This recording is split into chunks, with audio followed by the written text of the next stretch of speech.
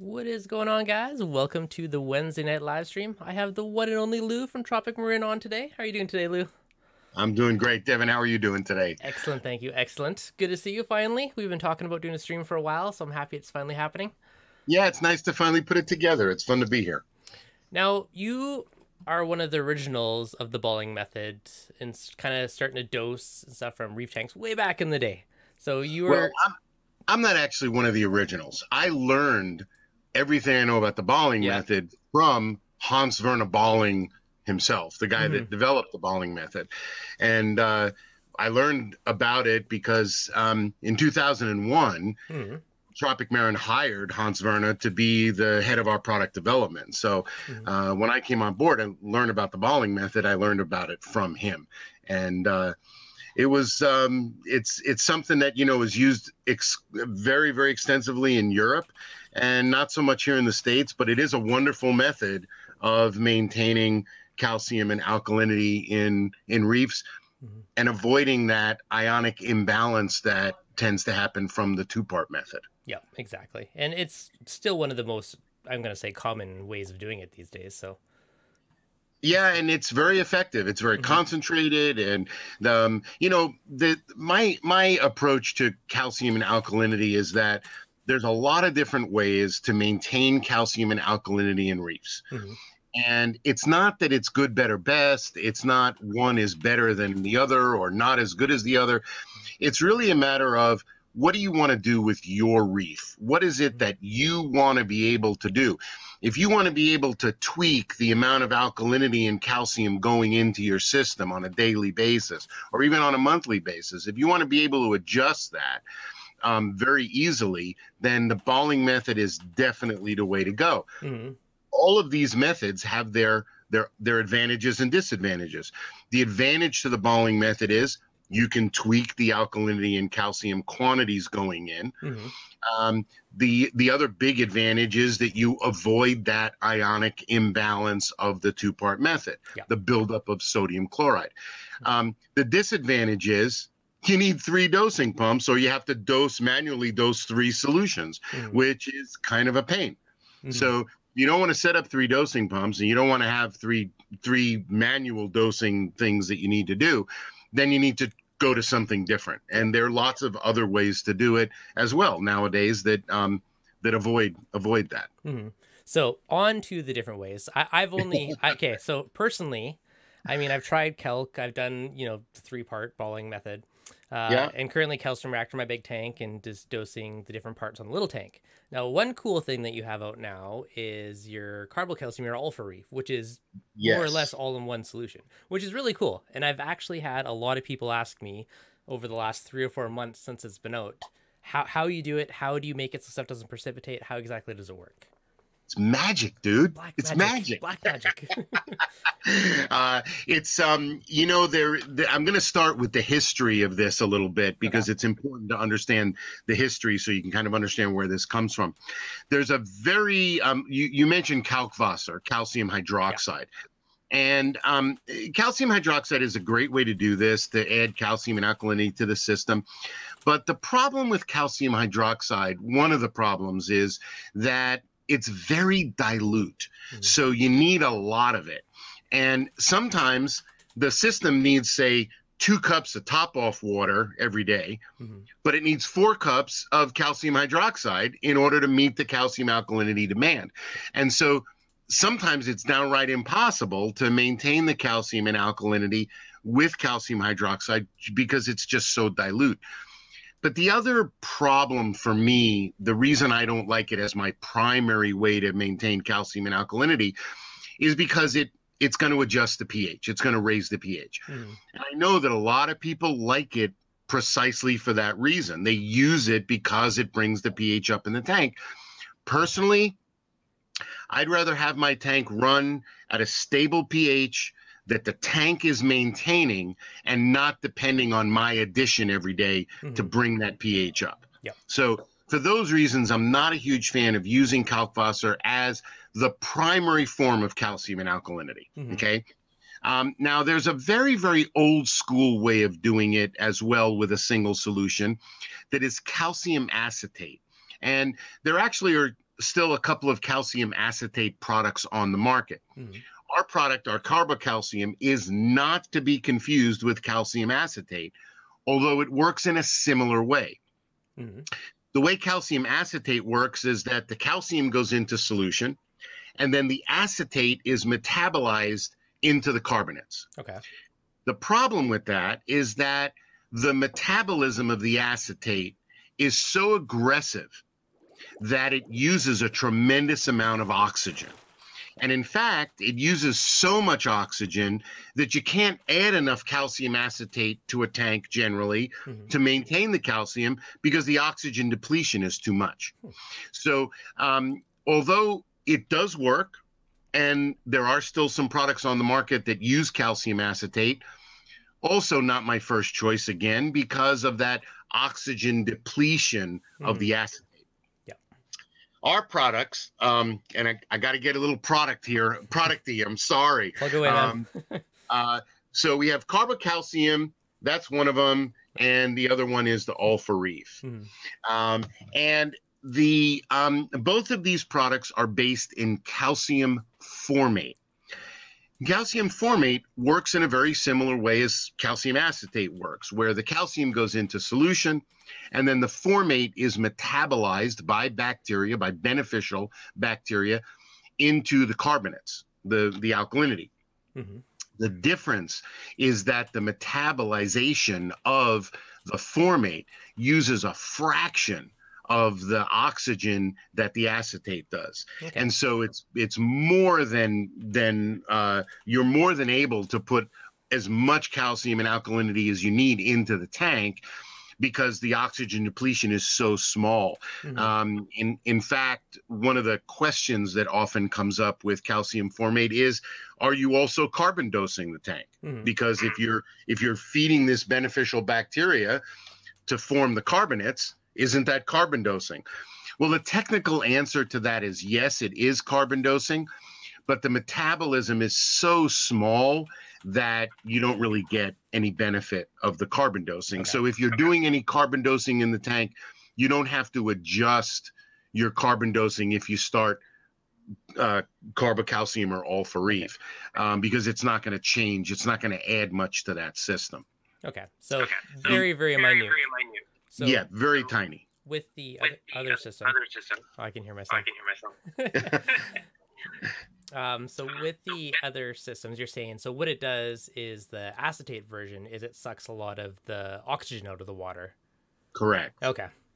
so much so that it prevents you from adding enough in a in a healthy growing reef to be able to meet the calcium demand hmm because the oxygen goes down too low Okay. and so uh, but with the formate you don't have that problem Mhm. there's very very little oxygen consumption and in fact um, there is a tank that i won't tell you whose tank it is but it's kind of interesting Mhm. um, there is a little 30 gallon tank uh, that that's a pretty well known tank actually uh, out in the industry Mhm. uh, that's using our All-For-Reef, where the population in the tank is so dense that this guy is putting three times our recommended maximum dose in every single day, and there's still no oxygen problem in Nice. the tank. So That- that's um, with All-For-Reef for which one? that's with the alpha Okay. reef. Um, so let's talk about the difference between those two. So the carbocalcium Yep. will supply calcium and alkalinity alone. All Mhm. right. Okay. It will not change pH. It doesn't raise the salinity like the two part or the balling method does. The only thing that you're adding to the tank when you're adding carbocalcium is calcium and alkalinity. And the carbocalcium comes as uh, as a liquid. It also comes as a powder. Um, this is just a little sample, but it does come as a powder as well. Mhm. Um, and it's a lot um, uh, more economical to buy it as a powder. You mix it with RODI water yourself, and then you're not paying us to mix it with water and ship water around the world. Uh, so it's a lot more economical to do it that way. So the carbocalcium, calcium and alkalinity alone. Now, once we figured out how to put calcium and alkalinity in a single solution, hmm then we started thinking, well, why not add magnesium and trace elements. Nice. So that now you've got a single solution. This is now we're talking about the All-For hmm Now you have a single solution that doses calcium, alkalinity, magnesium, and trace elements. Nice.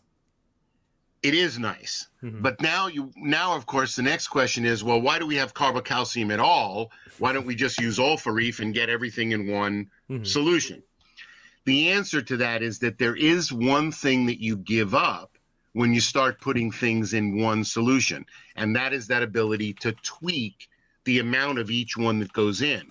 When you put in All-For you're putting in the ratio of calcium, alkalinity, magnesium, and trace elements that we put in the bottle. Yeah. And if you want to increase one of those, you've got to add some other product. Mhm. If you want to decrease one of those, there's no way to do it because you're adding it in our proportions. Yeah. So the, the, apple. Oh, sorry. Sorry. Go but ahead. at the same time, it's kind of nice to be able to have one thing to dose and you know it's always balanced, I, I which is a huge totally benefit. agree. Yeah. But saying that it's always balanced is kind of Ma- uh, mainly balanced. because the balance depends on what your aquarium is going to use. And the reason I like to see people use the All-For-Reef Mhm. in, I usually say smaller aquariums, but the real thing is what percentage water change do you do? Mhm. If you're one of these people that has a 29 nano and you're doing a 40% water change every two weeks, that means if you get a little bit too much or a little bit less magnesium than you need, Mhm. you're going to correct 40% of that problem when you do your water change.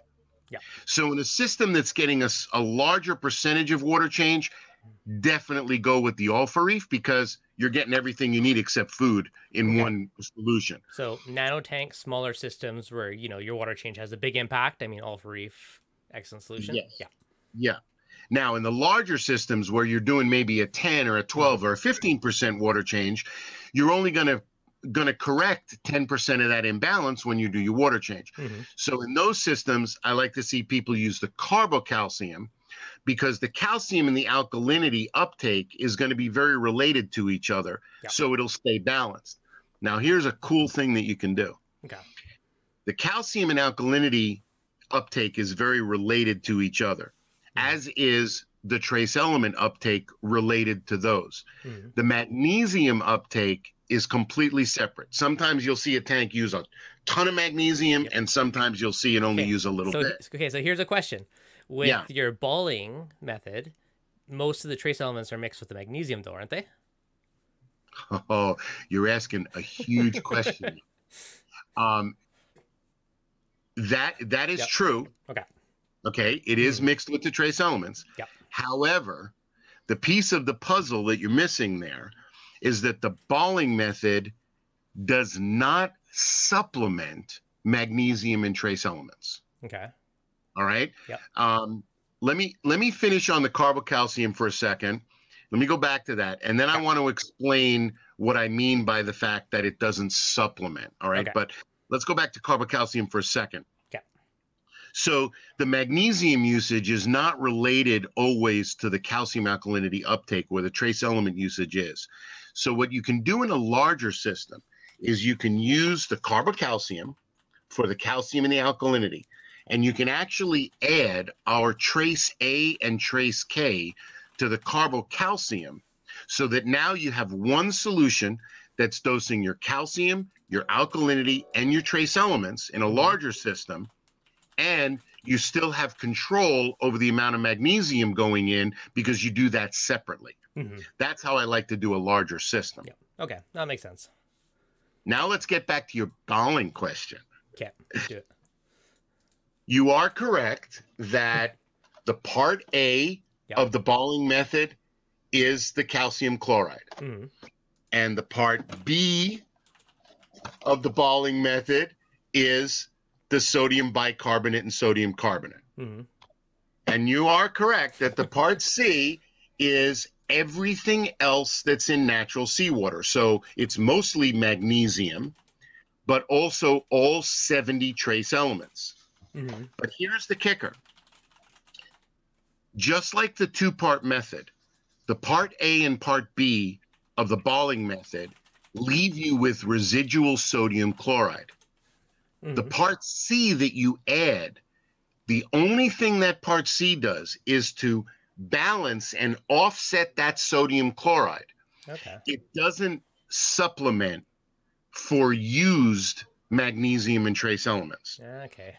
So you still need to add magnesium and trace elements when you're using the balling method Mhm. because all you're adding is calcium and alkalinity. Mhm. So I make a distinction between adding magnesium and trace elements, which the part C does, Yep. and supplementing for used magnesium and trace elements, Okay. which the part C does not do. I've never considered the difference. It's good to know. Well, Yeah. when you, if you look at how it works, all of the part C that you add, you end up diluting with fresh water. So Mhm. you're not really supplementing for magnesium and trace elements. Okay. So then people always say to me, well, why don't I just add a little bit more of C to supplement my magnesium and trace elements? The reason that you don't do that is that you don't want to supplement all 70 trace elements in natural seawater. Mhm. You want to supplement about 17 of them that we know get used in reef tanks. Mhm. And so it's not a good idea to use the part C of the balling to supplement your magnesium and trace elements. I prefer to see people just do that separately. Okay. Um, couple quick questions I want to get before I forget and I completely scroll away. Uh, so do do do do. Okay, so who's that one? G Day Reefing. Thanks for the five dollar super chat. Much appreciated. He goes. I don't think I've seen this in Australia. Is it available over here? I'd love to try it my Nano. I'm assuming that's the All-For-Reef. Yeah, um, I don't know if it's available in Australia, but I know we have a very strong market in Australia. And my guess is that it is now available somewhere in Australia, um, but it certainly is available here in the US. Okay.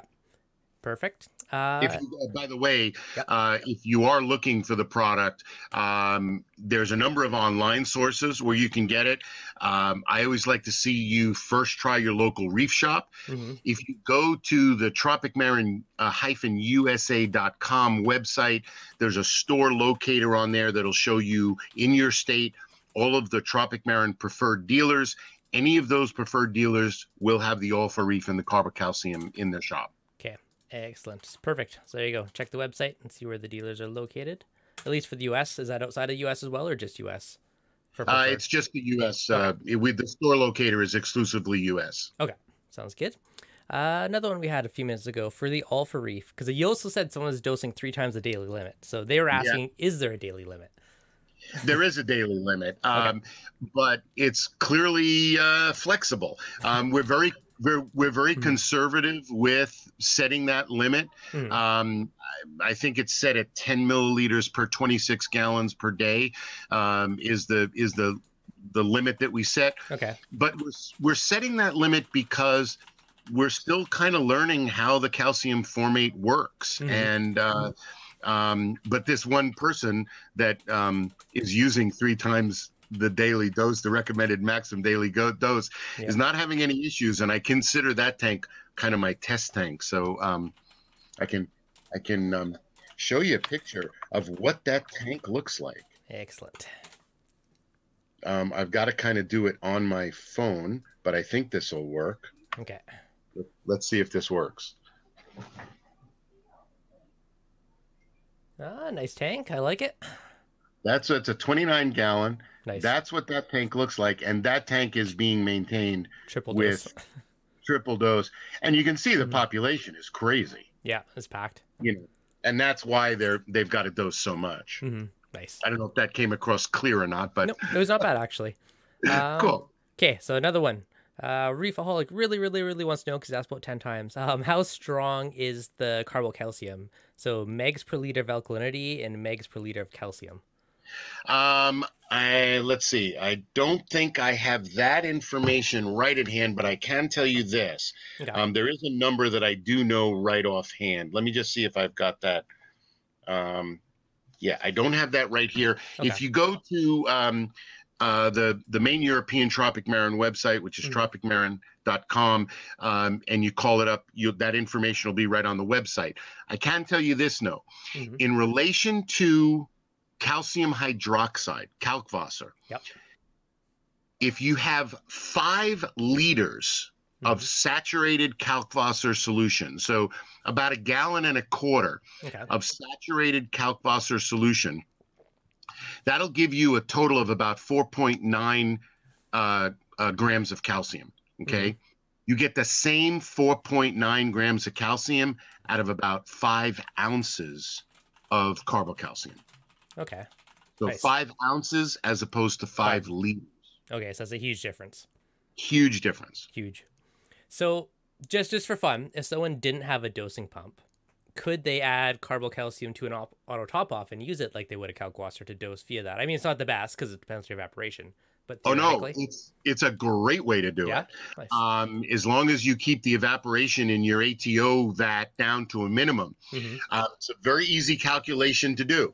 What you do is you start dosing the carbocalcium on a daily basis manually.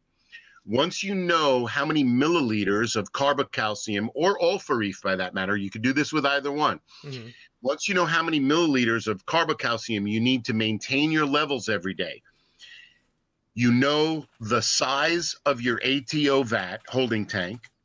You know you have to know how many milliliters of ATO go into your tank every day. Mhm. You just calculate how many milliliters of carbocalcium do I need to put into the holding tank Yep. so that when the ATO puts in whatever it is, 100 milliliters a day of ATO liquid, Mhm. you're getting your 10 milliliters of Okay. carbocalcium or whatever that is. Yeah. It's a very, very easy calculation to do. Mhm. And because the carbocalcium is so concentrated, you can do it with carbocalcium and All-For-Reef, which you can't really do with the Kalkwasser because it's too dilute. Yeah. Okay, that makes sense. Um, do do do do. So okay, so Richard asking, is it possible to add trace elements, so K plus and A minus, to different Tropic Marin balling solutions? It would mean two dosing pumps less. If so, what mixture should be used? It is possible to do it.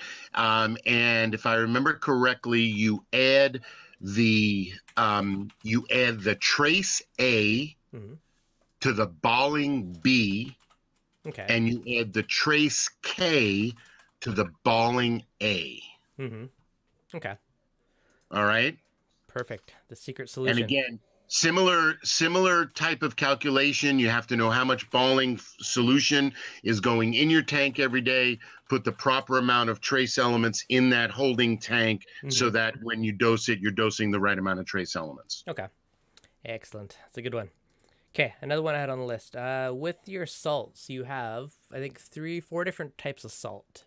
Four. Four. Okay. Yes. So there's the classic, the pro reef, the bioactive, and is And it the synthetic? symbiotic. Symbiotic. That's what it is. Okay. Yeah. All right. So what's the difference in them all, and why would I want to use which one over the other one? All right, good question. Um, I'm going to do a Devin. I'm going to do a screen capture here, Sure. and uh, bring up a little explanation for you. Excellent. Sounds like a plan. Uh, Uh, Raj was saying A plus and K plus are great additives. Excellent. Hey, double me. ooh, that's the, that's the wrong one. There we go. Okay. All right. So, Pull that. do you have the classic salt up now? Yep. Just I'm just resizing it so it fills the screen. All right. There we go.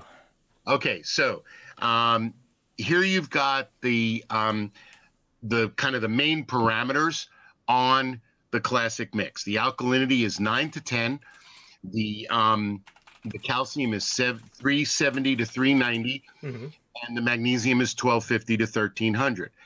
Now, this is good to use on certainly on a fish only tank or in a reef tank where you want to keep a slightly higher alkalinity. You can see this alkalinity is 9 to 10. hmm We are not proponents of raising the alkalinity and raising the calcium and raising the magnesium to get quicker coral growth.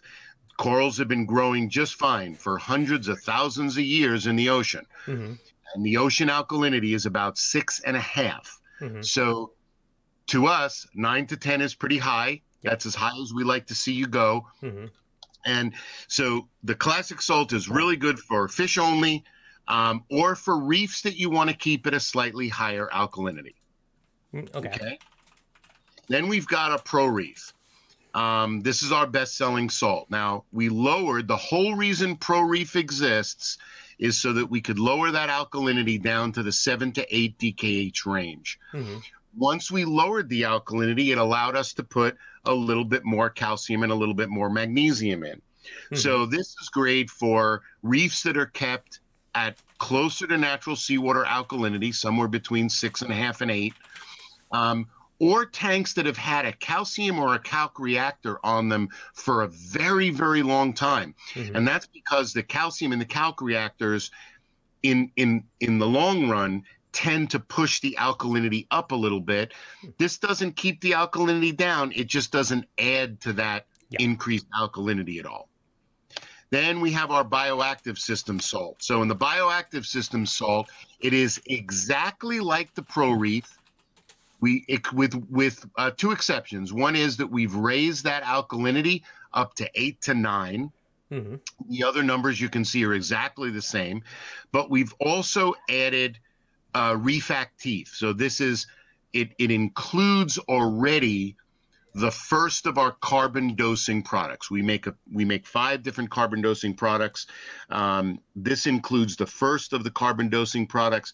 The advantage of that is that now every time you do a water change, you get all the benefits of carbon dosing mm-hmm. without mm-hmm. any of the risk of over carbon dosing your tank. Okay. You could literally start an aquarium with this bioactive system salt and you would not over carbon dose that that tank. Huh. Uh, then. So, are you essentially just carbon dosing through your water changes because it's in the salt? Yes. Okay. Yes. Nice. Exactly.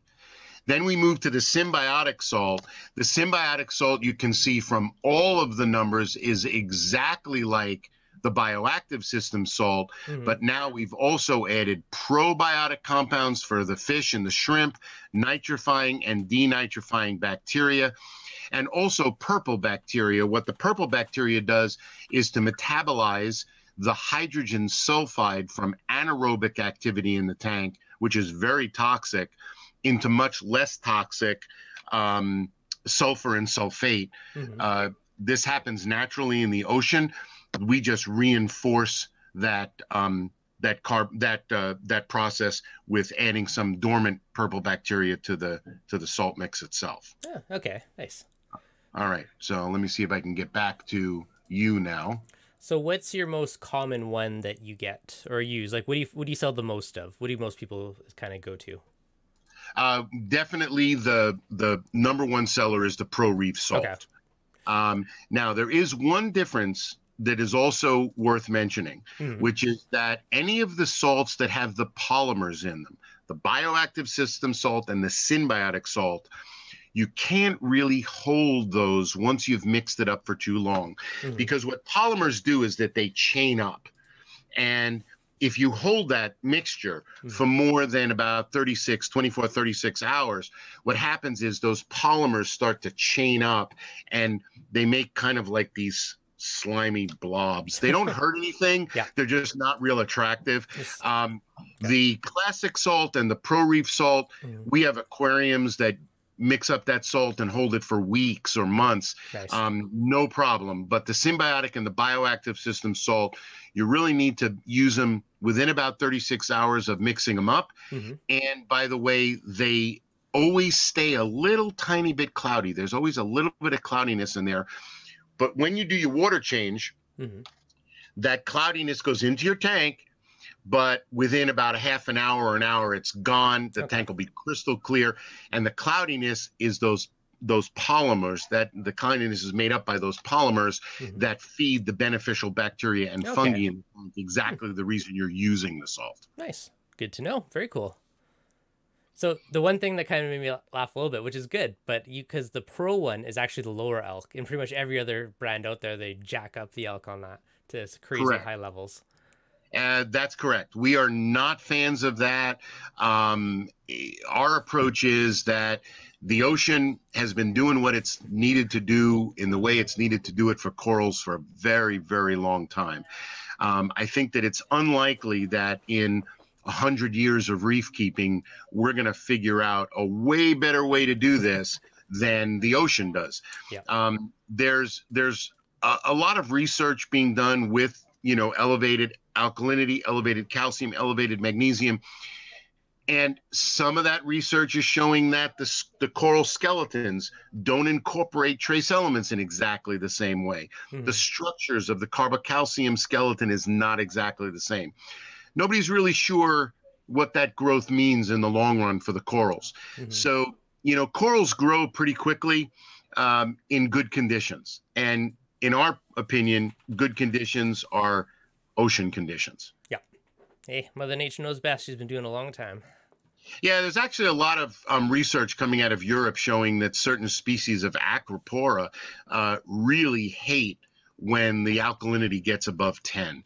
Uh, mm. They look like completely different heads of coral at, at seven or eight than they do at 11 mm-hmm. uh, DKH. And um, if you if you want to propagate acros, you'll find a lot of people out. Listen, you can you can find anything on the internet.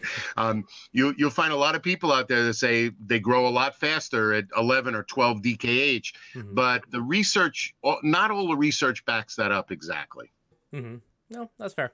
So in my big tank, I generally keep it in kind of the eight, eight and a half type of range. Um, Perfect my nano tank, after neglecting testing for a long time, I tested one day. It was around 5.6, but the tank yeah. looked amazing. Like all the acros, everything was just completely happy in the lower alk. So I was like, huh, what do you know?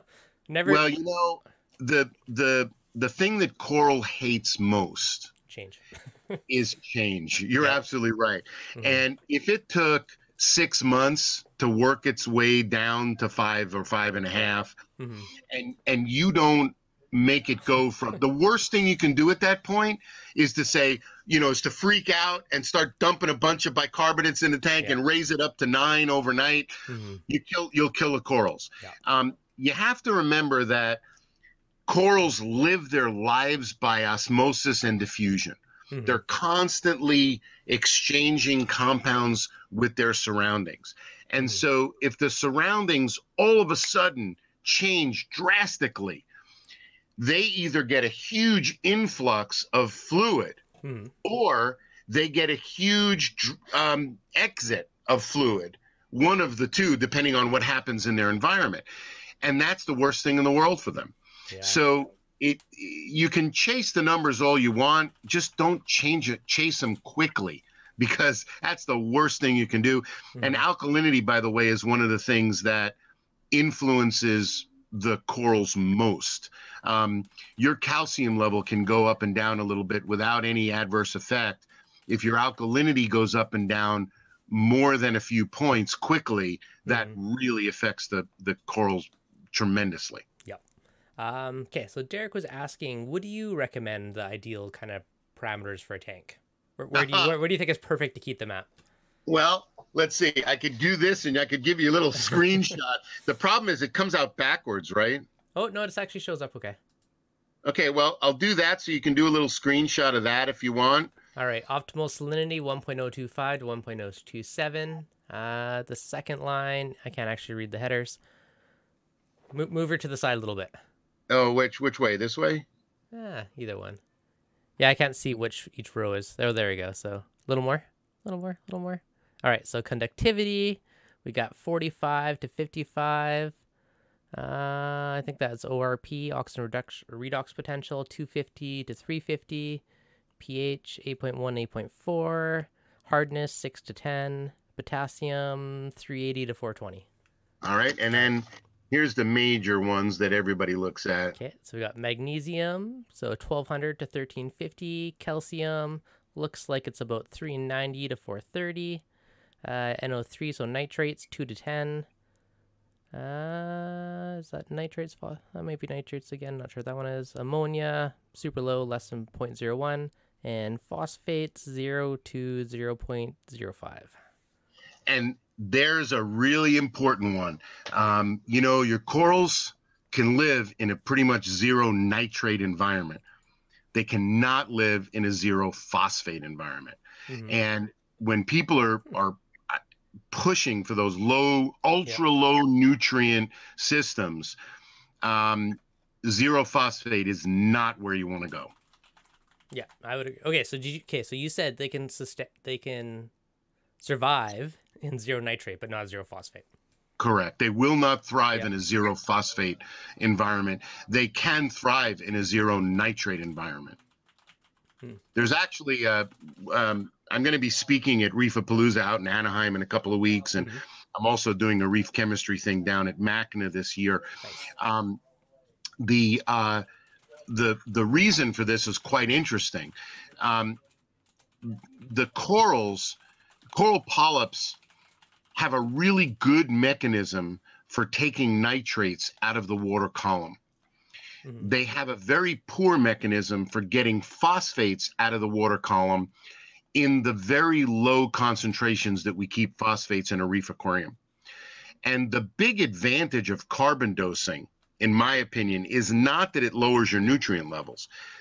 The big advantage of carbon dosing is that you're feeding beneficial bacteria and fungi that have exactly the opposite. They have a very good mechanism for getting phosphates out of the water column at very low concentrations. Mm-hmm.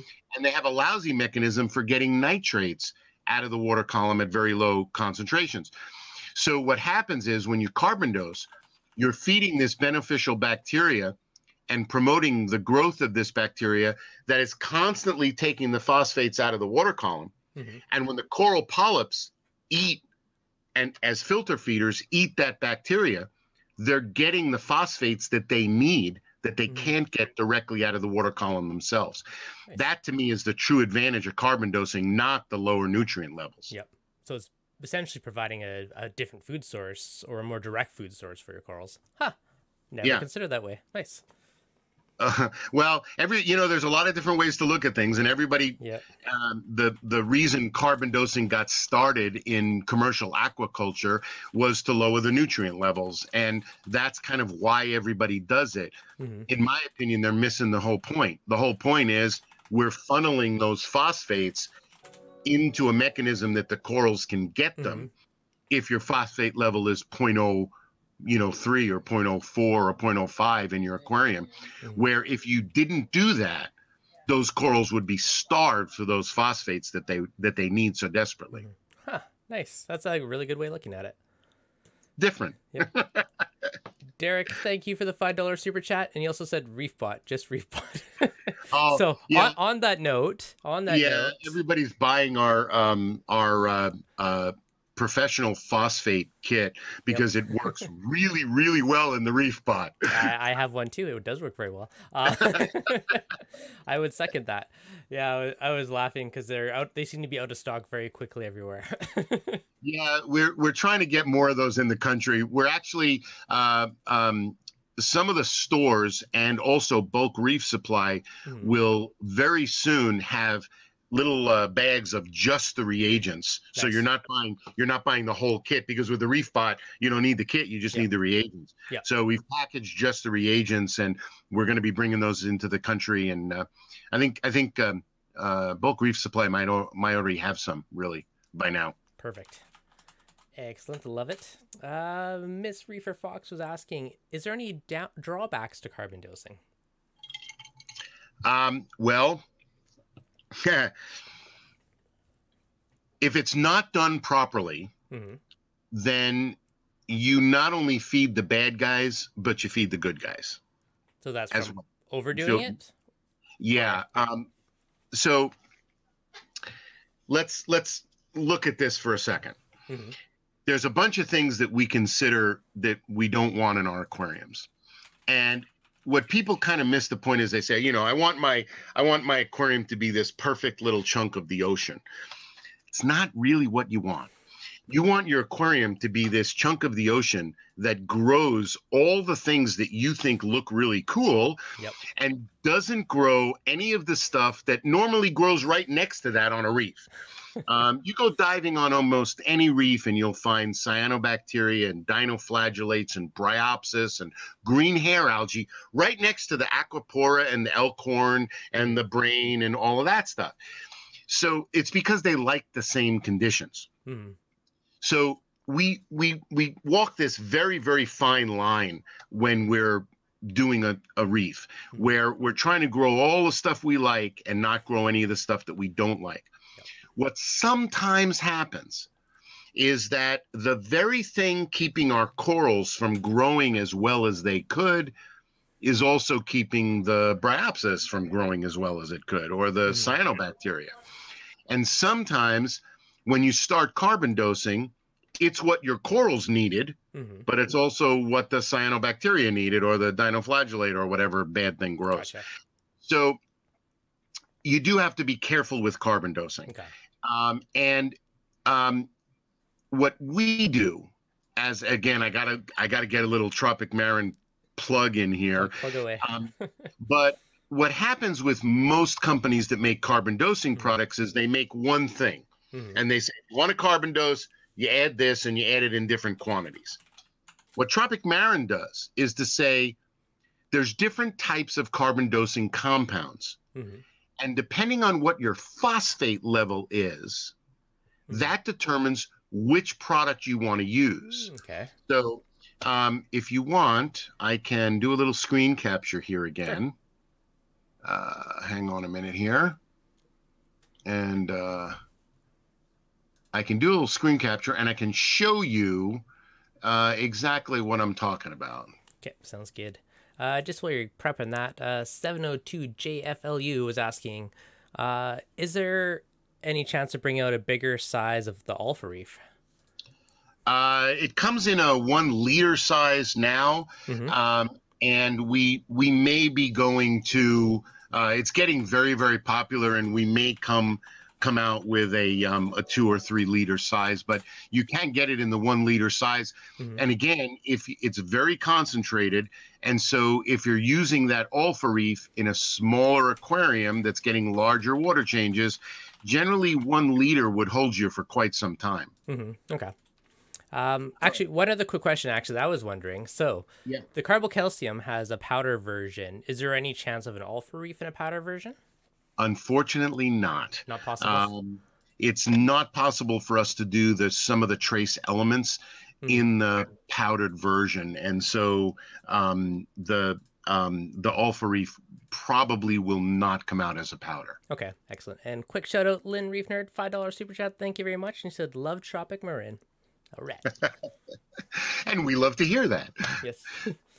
All right. So um, to uh, to talk about carbon dosing for a minute, uh, again, it's not one-stop shopping. Mm-hmm. You have to look at your uh, your your phosphate level. Now, we have two products that can be used at any phosphate level. Mm-hmm. The Reef the Reef Actif is one, um, and the reason this can be used at any phosphate level is because it's not the type of alcohol acid uh, based type of carbon dosing.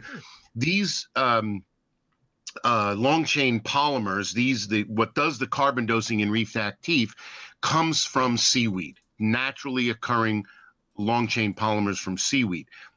Very very safe, almost impossible to overdose it.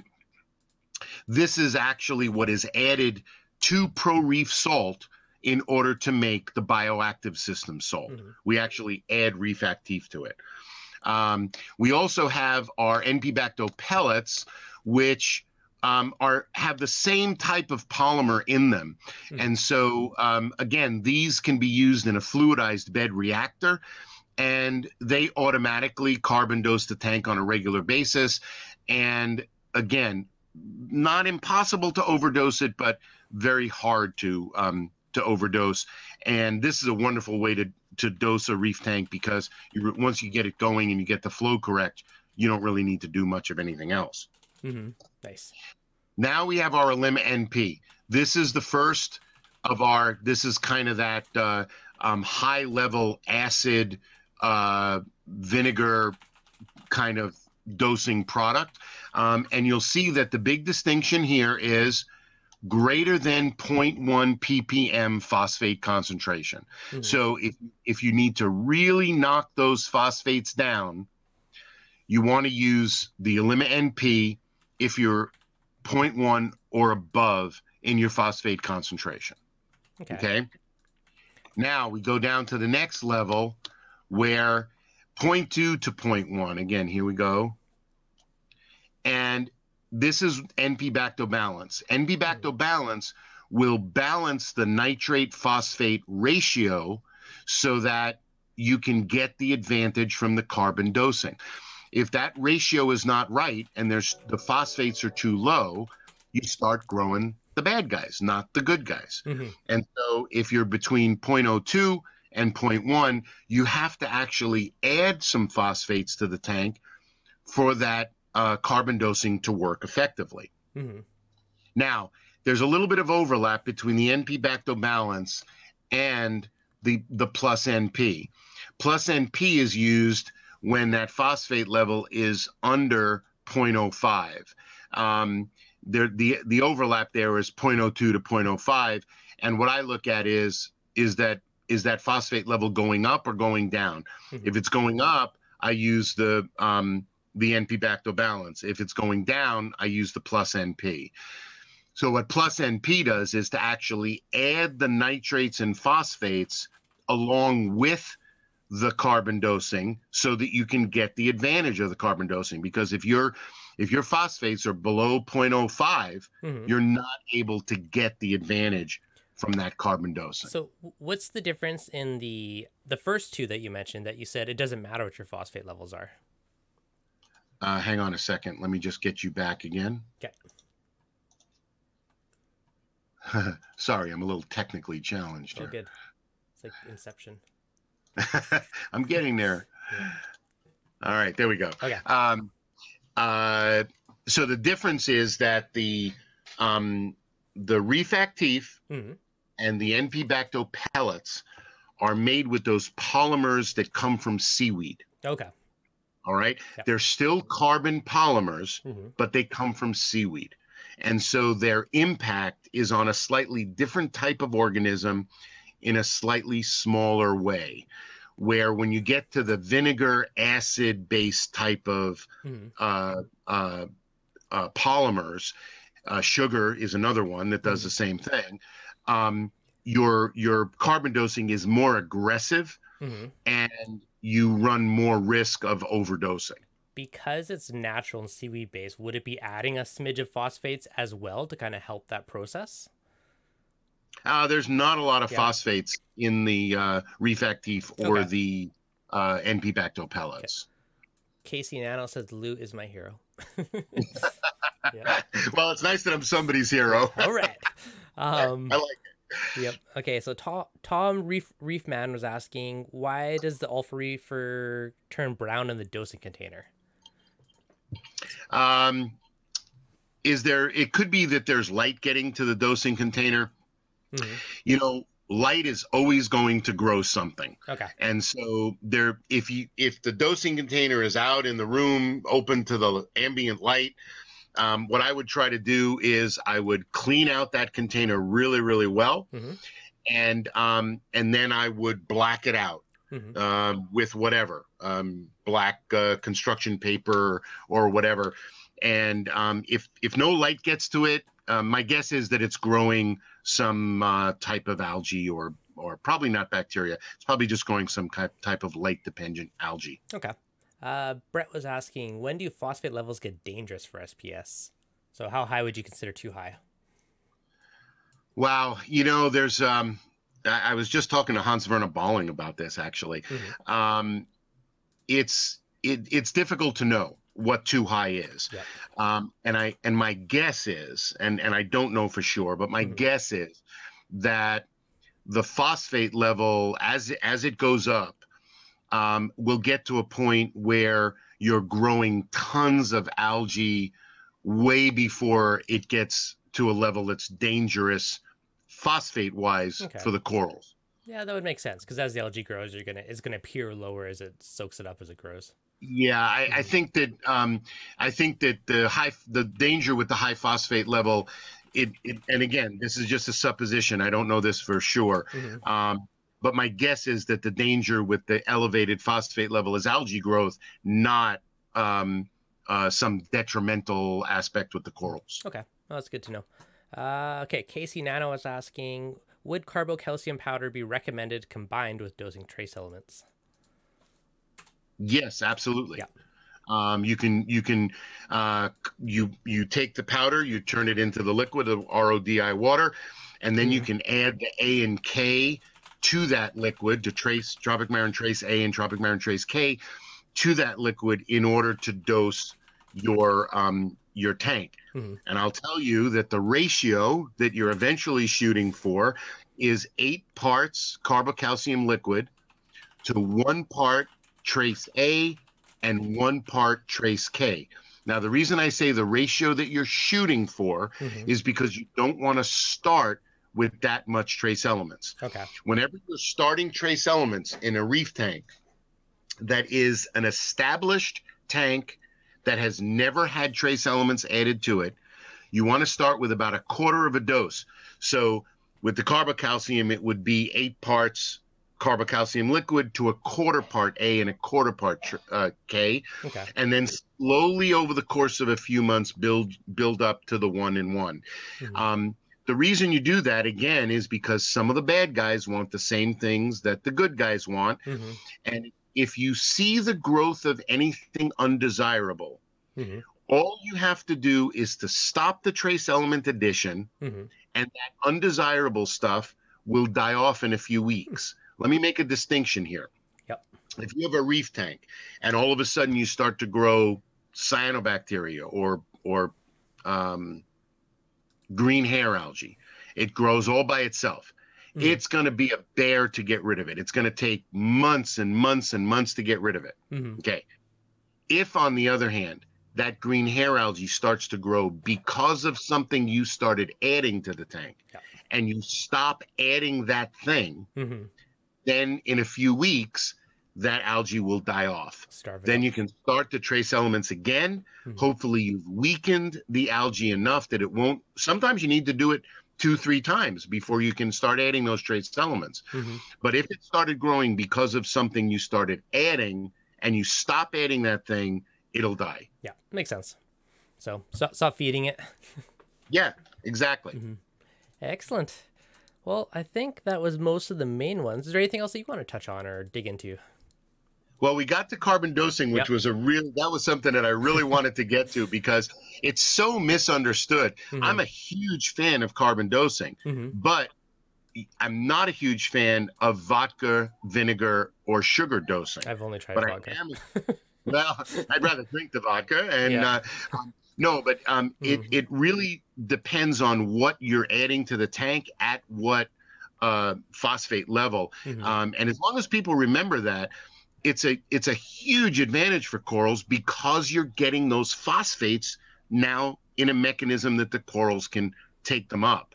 And that to me is a tremendous advantage. And I'm a big fan. I like to see more people carbon dosing, um, but not just indiscriminately throwing vodka or vinegar in the tank. Yep. No, that's very cool. It's actually really interesting that you have four different types of carbon dosing products for different scenarios. which I've never even considered that or did not know that at all until today. So that's very cool. Uh, nobody does. Um, nobody does. But uh, and and as I said, most companies have you know one thing that you use for carbon dosing. Mhm. Um, but we've studied car- uh, carbon dosing extensively in the lab, and it does make a difference what you use at what phosphate levels. Mhm. No, that's So I'm just really that's cool. glad we got to that because I didn't know if we were going to get to that or not today. No, that's awesome. Uh, I definitely appreciate you coming on today, and I'm probably gonna have to bribe you to come on again one day because you are a wealth of fountain of infinite knowledge in reefing. well, not so much infinite, but uh, it's been a lot of years, and I learned Yeah. some from some very, very knowledgeable, good people, and I'm very thankful for that. Mhm. That's for sure. And and Devin, this has been a blast. I'm I'm happy to do this again uh, whenever you like. Uh, please tell all of your uh, your viewers that um, they can contact me through the website tropicmarin-usa.com. Uh, all the product information is on our European website, which is tropicmarin.com, and uh, I'm always available to help people uh, with their tanks. Awesome. That's that's awesome. It's awesome to see a company, you know, going back and actually helping people with the products, all the follow up. Love to see it. Um, I'm sure we're gonna get a bunch of questions in the comments, so maybe in a month or so, maybe we'll do another one to answer whatever questions come up after the fact. Be good. Yeah, absolutely. People can also email me if they'd Okay, like. Perfect. Uh, off, office at tropicmarin-usa.com. Perfect. Awesome. Thanks so much, Lou. Much appreciated. All right, Devin. Thanks Okay, so much. thanks. It was really great. Awesome. Have a great night. Thank you. Yeah, you too. Bye. Bye bye.